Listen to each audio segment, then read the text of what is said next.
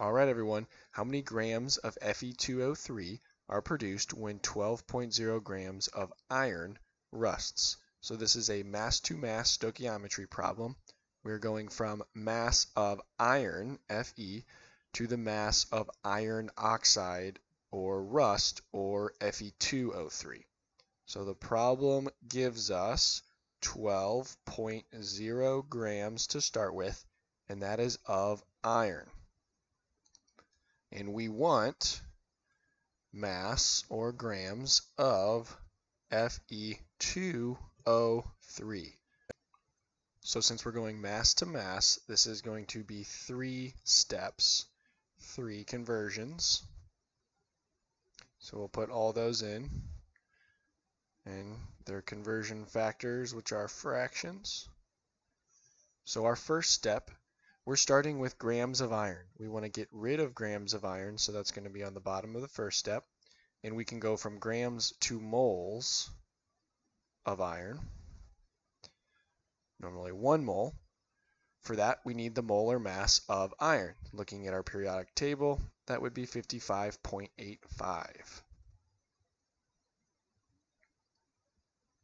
So that goes on the bottom.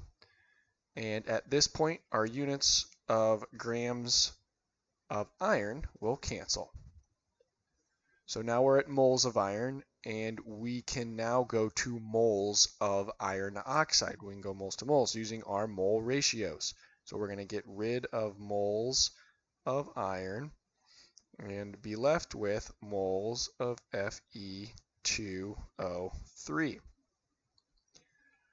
What's the relationship between moles of rust and moles of iron? That is going to be our coefficients. For every four irons, for every four Fe's that react, we're going to get two rusts, two Fe2O3s. So on the bottom, we're going to put 4, because that was the coefficient for iron. And on top, we're going to have 2, because that's the coefficient for Fe2O3. So at this point, moles of Fe will cancel with moles of Fe. And then our last step, we want to get rid of moles of Fe2O3 and we want grams of Fe2O3. So what's the relationship between moles and grams of rust? Well, to find that out, we're going to have to get the molar mass of Fe2O3, or specifically, how many grams is one mole of Fe2O3? So to calculate that, we look at our formula, and we have two irons in the formula and three oxygens. Okay, keep in mind that two in front, we are not considering that. That is only for the middle step.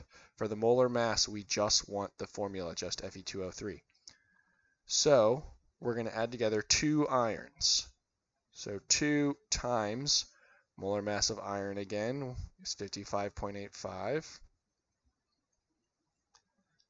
And that's grams per mole. Plus 3 times oxygen. Oxygen's molar mass is 16.00 grams per mole. So 2 times 55.85 plus 3 times 16 gives us a molar mass of 159.7 grams per mole. So that is what goes into our third and final step. We have on top 159.7 grams, and that is for one mole. So at this point, moles of Fe2O3 cancel, moles of Fe2O3, and we will be left with only grams of Fe2O3. So let's plug everything in our calculator. We're going to do 12.0 times the top of the first fraction, which is 1, so we can skip that because it won't change it, divided by the bottom, 55.85, times the top of the second, times 2, divided by the bottom divided by 4 times the top of our third conversion factor So times 159.7 divided by the bottom is just 1, so we can skip that, and we'll hit equals. And we should get about 17.15, which we're going to round to 17.2 grams. So final answer, 12 grams of iron rusting in the following equation will produce 17.2 grams of Fe2O3. Alright everyone, if you want to see another example, click in the top right. Please like this video if it helped you in any way. Feel free to look in the doobly-doo below for additional help and resources. Please subscribe and ring the bell to get notified for new videos, and thank you, thank you so much for watching.